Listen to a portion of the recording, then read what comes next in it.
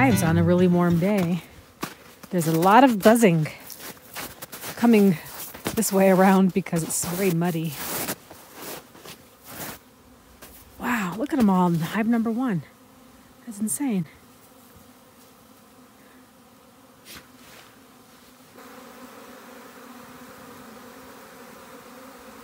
A lot of activity, and look at all the dead bees below. Dead, dead bee bodies in the in, in the water right below the hive. So let's see, middle hive, not too much ec, not too much activity on this one, and not a lot of activity on this last hive.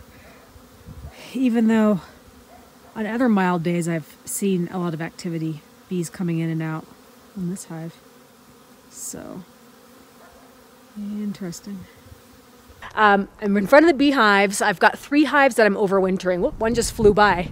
And uh, so I'm kind of sharing my experience of transitioning from keeping bees in the North Carolina region up to a 9,000 foot elevation Colorado mountain environment. So it's a big learning curve. So I'm sharing with you guys on, my, on our channel about uh, what I'm learning the process and the transition between, you know, um, pretty uh, mild beekeeping weather um, to more extremes where you deal with high winds and long winters and lots of snow and wild animals that can um, affect the hive. So if you're interested in this kind of content, definitely subscribe to the channel.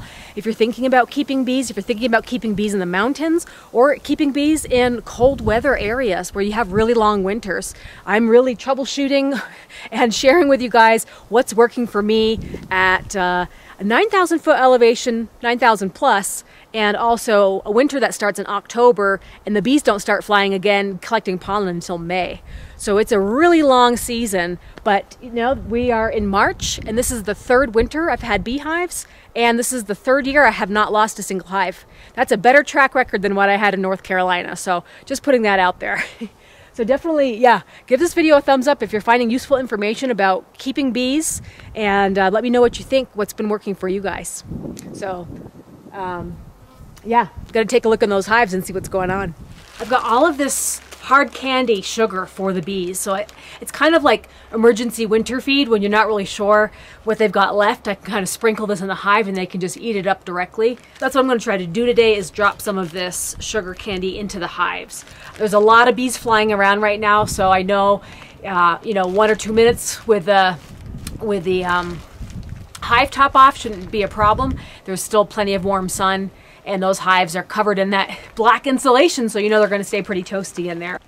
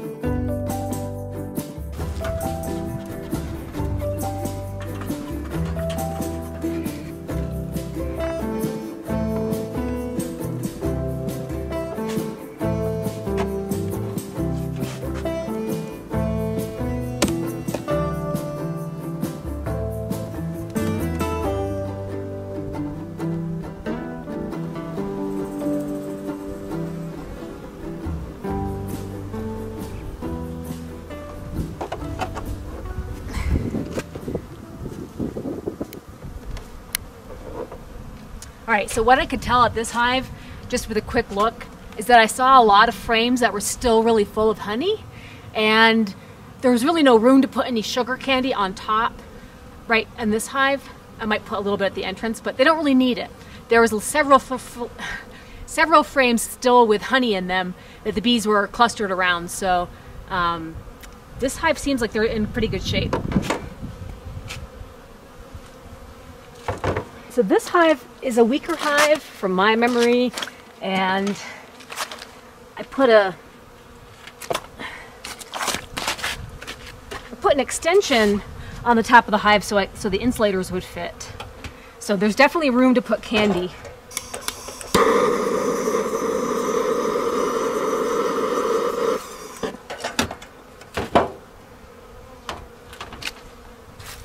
A little bit of activity.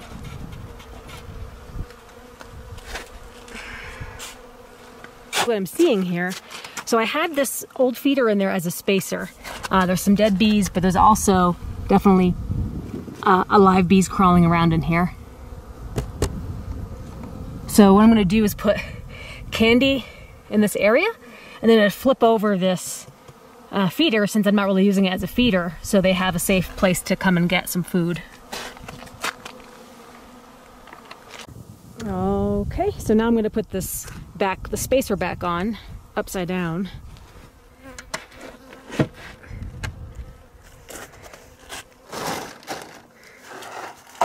So even though this hive doesn't have a lot of activity, um, just feel really confident that I could witness with my own eyes a cluster of bees and you know they're still in there so they're doing good Okay, last one here. And we have bees at the end, at the uh, opening here. The ventilation. So I'm just gonna smoke them a little bit, not too crazy. This cluster is really large. That's great news. That's good, a good thing to see. When you got a really large cluster there. And what can I see for honey? Capped honey, capped honey. I think they're definitely around where the capped honey is. I can check the edges here, see if I can find a frame that... This one's got a lot of capped honey, so not a lot of room for putting feed. Can move this over a little bit, I suppose.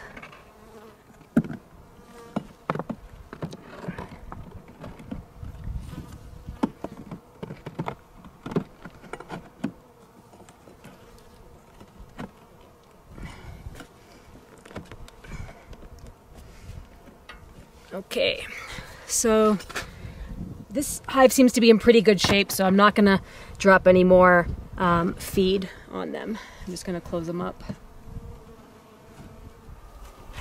So this is all really good news to me, just to see witnessing the bees in each of the hives that, they've survived the winter so far. I mean, we still have uh, a couple more months of having to make sure they have enough to eat because really they're not able to feed themselves until till about May around here when the pollen comes in.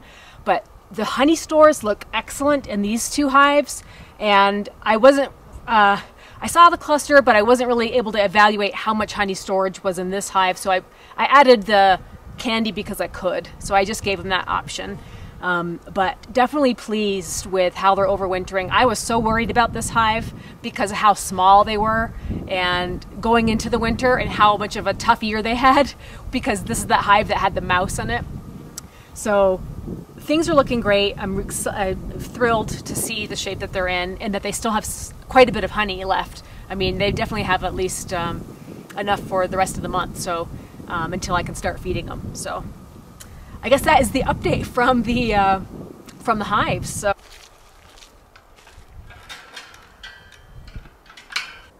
So definitely good news today. I can't even say how excited I am that all three hives uh, have made it and just a couple more months until they'll pretty much be on their own, being able to fly around, uh, not having to worry about overwintering because I'll be feeding them up until May more regularly. But they have plenty of honey right now, and that is, guys, that wraps up the first look at the beehives after the winter that we've had. And um, this is the third year that I've had bees and not lost a hive yet. So good track record so far, but you know, with beekeeping, you never know. Anything could happen. So stay tuned, guys. We hope to see you at the next one. Bye.